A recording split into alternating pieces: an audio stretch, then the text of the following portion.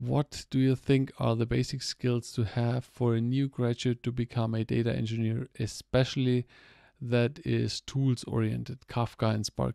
So the main the main thing for a a uh, that's the last question uh, or or not depending on how much comes um so let me just um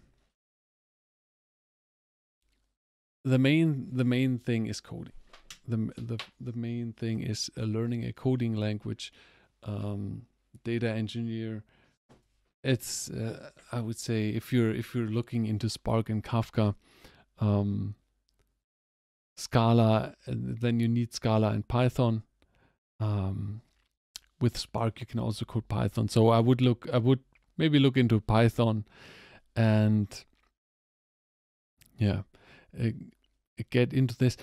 What i what i always recommend i can show you what i always recommend uh, that how i would start um if you haven't seen my cookbook uh, i have wrote in my cook in my data engineering cookbook um, in the introduction i have my data science platform blueprint here it is so um, what i always recommend is when you start out and when you become a data engineer, uh, when you want to become a data engineer, uh, what you should do is there are these um, these different areas of, of focus. Connect, how to get data in, um, buffer with message queues like Kafka, processing frameworks, and so on. storage with uh, NoSQL and SQL database and visualization.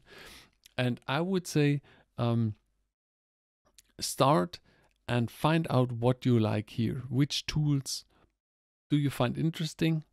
And then get into them, check them out, um, test them out, set up a Docker instance, run it, um, and then um, search specifically for for jobs aiming to find to you who use these these tools.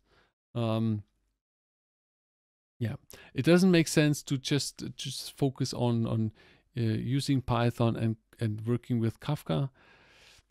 That's a bit that's that's not that much that much, but um, start with um, get a a a complete overview or a so so that you could build a pipeline with the tools that are interesting or that are that are very hip right now.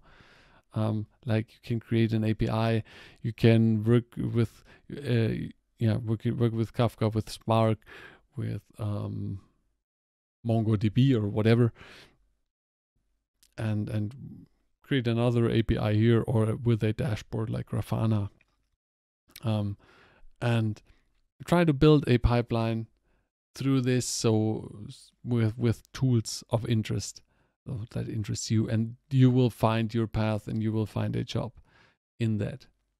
So um, these are the the main the main skills coding and then uh, a a strategic um, strategic look into tools.